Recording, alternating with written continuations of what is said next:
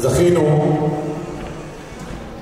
לארח הערב את כבוד הגאון הרב הינוקה, הרב בארי, שליטה.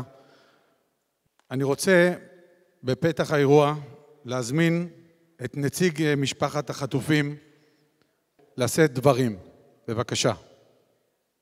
אני מבקש להודות לכם קודם כל שהתכנסתם איתנו בערב הזה לזכות חזרתם במהרה בבריאות איתנה של כל החטופים והחטופות וביניהם האחיין היקר שלנו עומר מקסים בן אורנה אסתר כמו גם להצלחתם של חיילי צה"ל העוסקים במלחמת הקודש כנגד הקמים עלינו לכלותנו.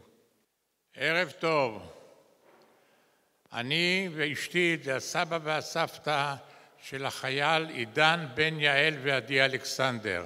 חטפו אותו ולקחו אותו לשבי וראינו תמונה שאכן לוקחים אותו לשבי בריא ושלם ומאז אין לנו שום קשר איתו וזה מאוד חבל. ראשית כל, להודות לכל עם ישראל ולהגיד לכם תודה, תודה, תודה.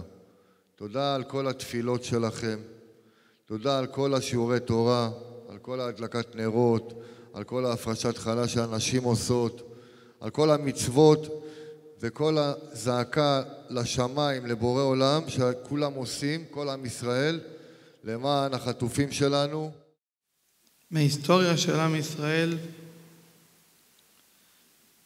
בתקופה האחרונה, שכל החודשים האחרונים יצא לי קצת לראות ולפגוש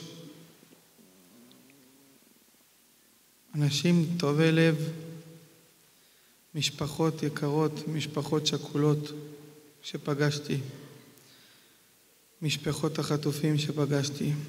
ראיתי את כל הגוונים. הכאב הוא אחד. ואנחנו צריכים לעשות כל שביכולתנו, הן בתפילה,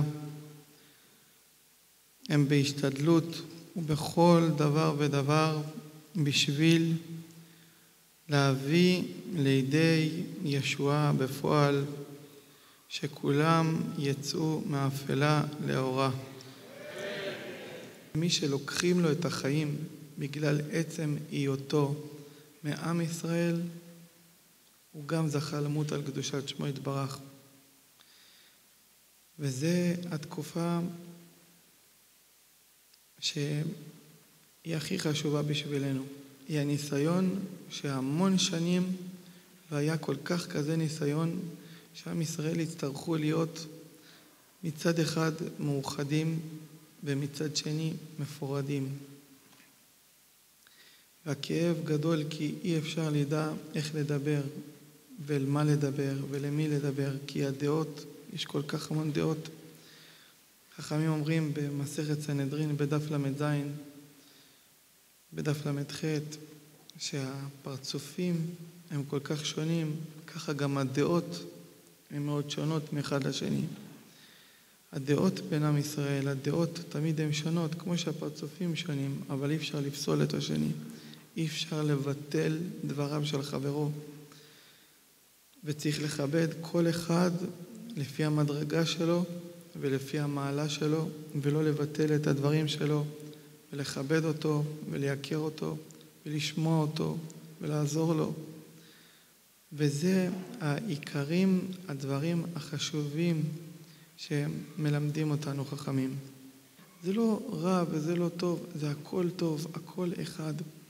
כמה שנהיה יותר אחד עם השני ונהיה מאוחדים, זה יעזור לנו, כי הנשמות שלנו העם מחובר, ואנחנו צריכים להיות מאוחדים בשביל המשפחות, בשביל גם משפחות השכולות, לחזק אותם ולעודד אותם ולתת להם המון תמיכה והמון כוח ולהבין את הלב שלהם ולנסות לפייס אותם ולעודד אותם ולהרים את הרוח שלהם וגם את המשפחות של החטופים שאין מי שיכול לשער את הדעת של מה שעובר עליהם וכל פעם הצער והמחשבה על הקרוב, איך הוא נמצא ומה הוא עושה ומה עושים וצריך להתפלל ולעשות הכל, הכל, הכל בשביל שהם יצאו מהר מאפלה לאורה והם יצאו מהר, מהר, מהר ביד רמה.